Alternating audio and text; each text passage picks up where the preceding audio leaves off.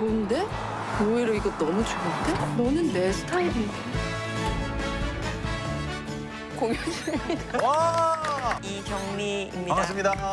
야, 너 친했다고 얘기했더라. 절친이라고 하시던데. 서울도 누가 짜다 너. 네. 진짜요? 데뷔작이니까 좀 잘하고 싶은 그게 컸을 거예요. 제작자인 박찬욱 감독님이 이 영화를 얼마나 좋아했을지를 상상하게 돼요. 맞대 자기. 정확하게. 내용. 정확했어? 네. 주인공인 배우에게 이렇게 입술 허옇게 불어튼 것까지 분장을 시키는 영화는 이 영화밖에 없을 거라 생각을 했었거든. 근데 사실 사람들이 많이 안 볼 거라고 생각해 이